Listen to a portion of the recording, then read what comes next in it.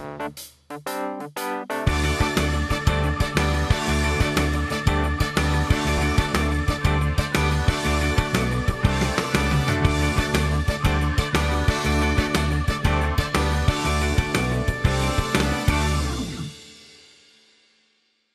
jau iesākts mūsu pagājušajā raidījumā, mēs turpināsim mūsu iesāktos DIYs. Un mēs turpināsim viņus līdz Ziemassvētkiem. Un šī būs floristika. Uz priekšu! Draugi, ļaujiet mums jūs iepazīstināt ar mūsu floristikas skolotāju. Sveiki! Labdien! Mani Labdien! sauc Linda Kalna, Labdien, skolotāji! un es esmu floristikas skolotāja. Skatāj, kas še- šeit notiek? Šeit mēs floristikas pulciņā taisam dažādus dekorus un gaidām, kad ārā un dārzos ziedēs puķis un mēģinam arī pušķis taisīt. Tad tā kā lielāko mācību gadu daļu eh, bērniem ir jāstrādā ar tiem dabas materiāliem, kas, eh, kas ir sausie vai vasarā savāktie. Nu, un tad taisam Mēs plānojam taisīt tādus nelielus sižetiņus līdz pat Ziemassvētkiem, nu tādus DIYs. Vai jūs varat mums palīdzēt šodien kaut ko pagatavot? Jā, man ir interesanta ideja netradicionāli matvenes vainagam. Parādīšu, kā uztaisīt. Jā.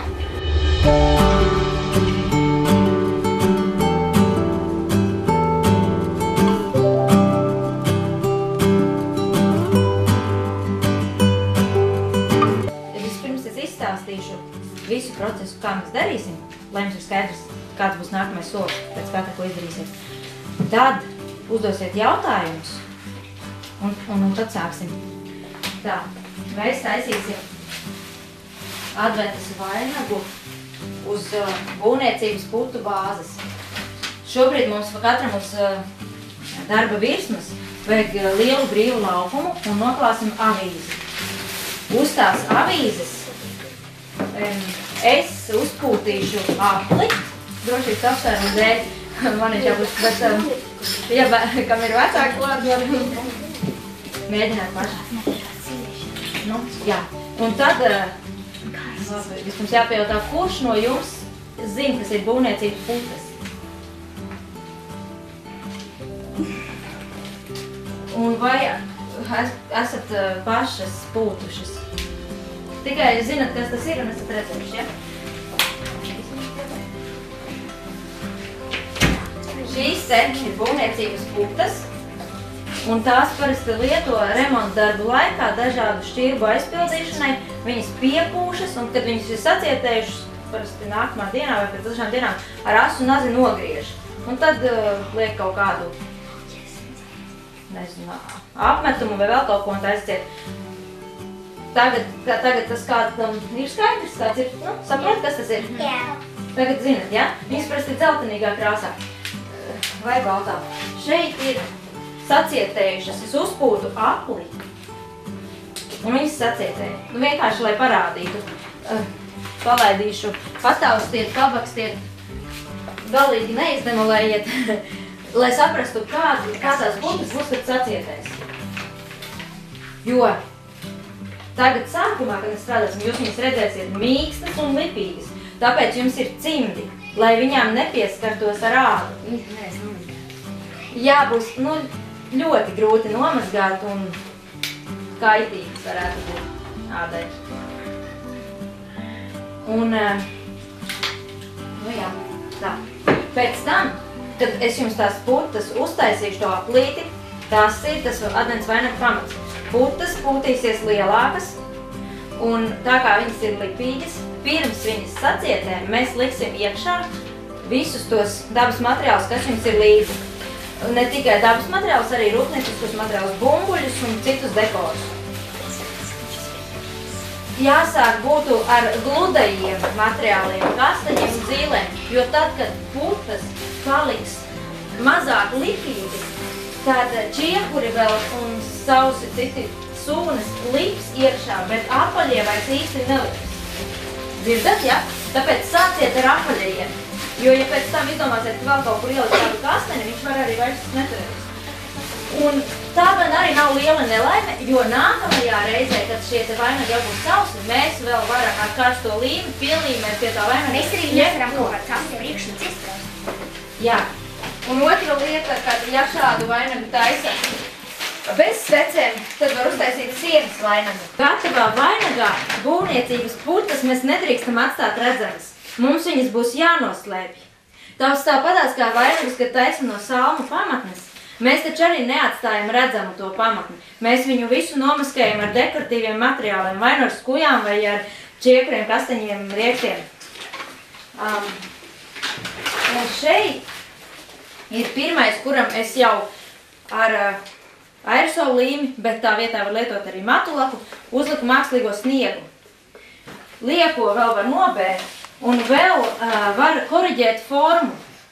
Ja liekot iekšā čiepurus vai citus materiālus, jums tās putas izjūgs bišķiņa apaļā forma, tad to pēc tam šeit var arī apli iekšpusē ar nazi izgriezt, tad, kad ir sauss un ārpusē. Un mēs taisīsim uz avīzēm, tātad pie avīzēm viņš pielips.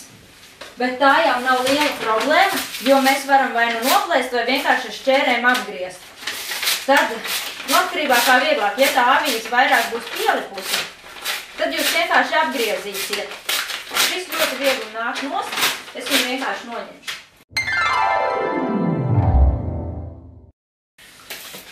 Kur? Redziet? Tāpēc nebaidieties, ja tas, kad jūs strādāsiet, kaut kur tā forma aiziet šķīt. Visu varēsim piekoriģēt. Un tad, kad ir piekoriģēts, tad liekam sniegu vai gliterus vai vēl kaut ko. Jo variant var pielikt ar matu laku cukuru, ja nav mākslīgais sniegs.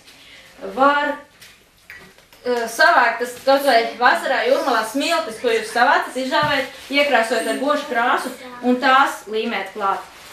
Var nokrāsot brīvās vietas ar PVA līmi, bērt tos gliterus, smiltis vai to pašu cukuru. Vai pēc tam ar karsto līmi pielīmēt vēl citus papildus materiālus. Galvenā, galvenā priekšrocība šai te idejai ir tas, ka tad, kad ir tās visas putas uzpūstas un viņas sāk piepūsties, tad die, uh, materiāliem, kuri noteikti mums būs iepriekš sagatavoti, vienkārši ir 5 minūtes visu saliekam iekšā, un viss tur paliek. Ja pie salmu pamatnes ir diezgan ilgi tie tās, kuras ir līmējušas šeit katru lietiņu karsto līmi, uzliekam līmi un līmējam klāt, un tā apkārt visam vainagam. Tas ir daudz ilgāk. Šādi te var uztaisīt ātrāk. Pie tam no vienas, no vienām putām, no flakona viena var, tur esat 36 litri ar tām putām kā tas, nezinu, kad piepūšas un tā laikam. Nu, tas nozīmē, ka diezgan daudz kāds var izrēķināt, cik vainagi varētu sanākt. Protams, tas no diametra arī atkarīgs. Tiem, kam ir mazāk materiāla līdz, taisīsim tādus mazākus, kaut ko tādu. Kam ir vairāk un kas grib lielākus, taisīsim lielāku. Bet var arī tā, ka divus. Nākamajā reizē mēs arī šo pašu darīsim. Tā ka tie, kam kaut kas nav pietiekami līdz, Vienkārši paskatieties un paskatieties, ar kuriem materiāliem ērtāk strādāt, un nākamreiz paņemiet tie, pietiekami daudz un tādus, lai būtu viegli taisīt. Um, nu jā, tad um, es arī materiālus kaut kādus iedošu. Te ir viena kastīte, skatīšos, ko vēl izvilkt.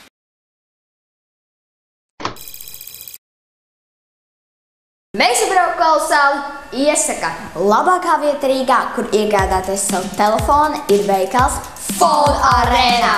Veikalā Phone Arena jūs varēsiet iegādāties jebkādu telefonu, kādu jūs sirds vienkāro.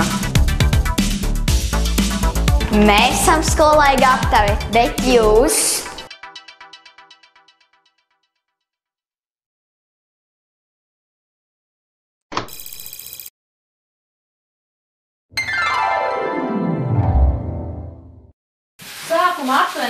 Tik liela.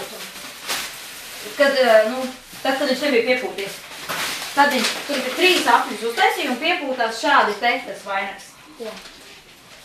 Un tad, kamēr viņš bija lipīgs, es liku iekšā visus tos materiālus. Tagad viņš sacietējus. Un uh, tie materiāli ir ielipuši un stingri turās. Nolaust var tikai tad, nu, ja pašas materiālus salauž.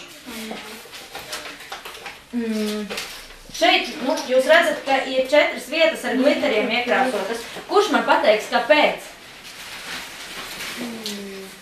Kurš var pateikt, kādēļ tās četras vietas ir iekrāsotas ar glitteriem? Redzēt, violetajiem? No? Tādēļ, ka tur parasti liek sveces. Pareizi, tas ir svecēm. Ko tu gribēji teikt, Ieva? Es gribēju teikt, jo nu, tā kā četras adventas. Nu, četras sveces atbildēs.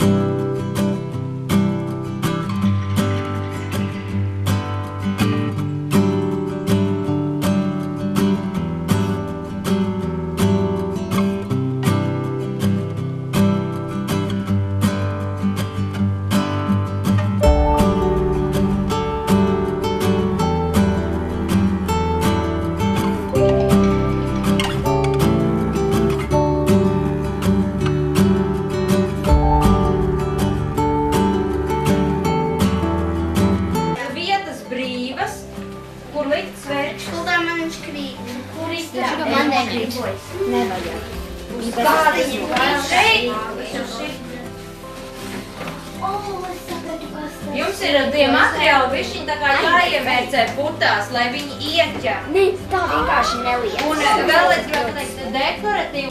Ah, nu es čet- četri. Sveces. Vienādas. Šīs ir Es dzēšu. Tur neko neliks. Atstāj brīvu vietu. Būs sveces. Vai ir apsāpties vēsēm, tad vienkārši tos ir vietas, ieteikts 1, 2, 3, 4, 5.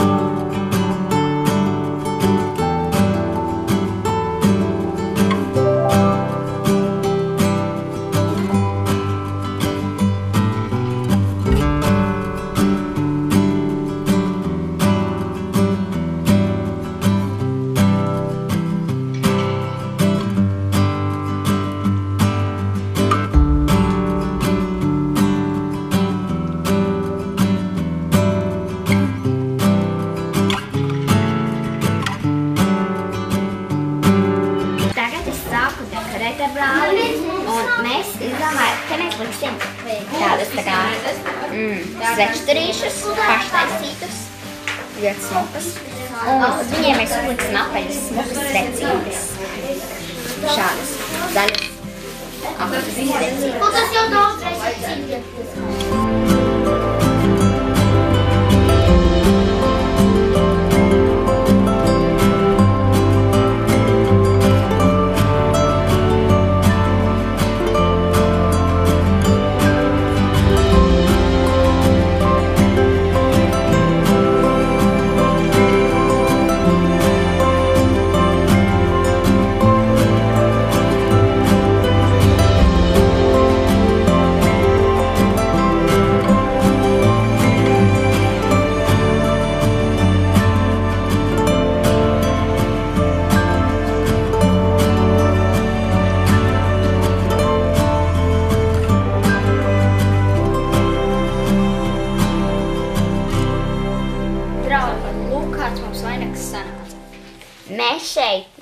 mums uzpūta ar putām tādu apli. Pēc tam mēs salikām bumbuļus, salikām lapiņas, čiekurus. Glitteru uzbērām. Glitterus uzbu, uzbērām tajās vietās, kur mēs vēlamies, lai mums būtu mūsu svečturi un svecītes. Ielikām svečturus, salikām apkārt čiekurus un ielikām vis visādas dabas materiālus un arī ķērpjus un mākslīgas lietas. Un mums sanāca ļoti, ļoti smuks vainags. Tagad viņai tagad tikai jāsakalst ir pašām putām. Un jāuzbara mākslīgais sniegs. Jo mums vajag viņu nosegt. Mums vajag nosegt, Mums vajag um, nosegt putas. Mums vajag nosegt viņus. Skolotāji, liels paldies par šo fantastisko un ģeniālo ideju, kā pagatavot šo adventas vainagu. Un es domāju, ka daudzi mūsu skatītāji varētu šādu mājās uztaisīt. Es domāju, ka jā, ir taču viegli Jā. un interesanti. Un Un var eksperimentēt ar materiāliem, var likt pavisam neparastas materiāls iekšā. Un tad skatīties, kas sanāk. Paldies jums, skolotāji! Lūdzu, nāciet citreiz vēl. Klāt konkurss. Pagājušā konkursa balva bija lūk šī dāvanu karte no Tirzniecības centra Spice. Dāvana karte 25 eiro vērtībā. Jautājums bija, kāds ir spices sauklis? Un tad nu pareizi atbildēja spicais donuts. Tev nu gan ir ļoti foršs nosaukums. Un spicais donuts atbildēja, spices sauklis ir pasaule ģimenei. Apsveicam! Sazinies ar mums un saņem savu dāvanu karti Un dodies iepē, iepirkties! vai shoppingā. Paldies, ka skatījāties šo raidījumu. Atā līdz nākamajam raidījumam. Čau!